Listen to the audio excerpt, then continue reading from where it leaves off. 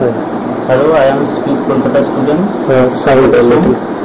I have got 80 ranks in this November ends hmm. 2014. Hmm.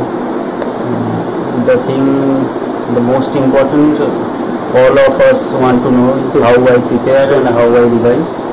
The first thing for getting a rank in AIIMS, you have to be, you have to read the 10 years AIIMS question papers.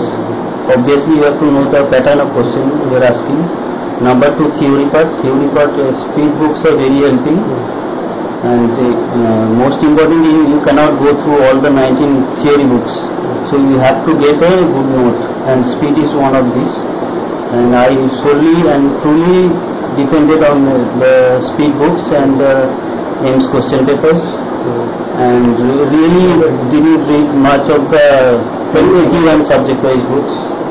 And the faculties Uh, I think most of them were very inspirational and informative and also they helped us to build confidence and they provided us with notes that is the most important to be go through and through and revising and that is the, that has helped me to get rank.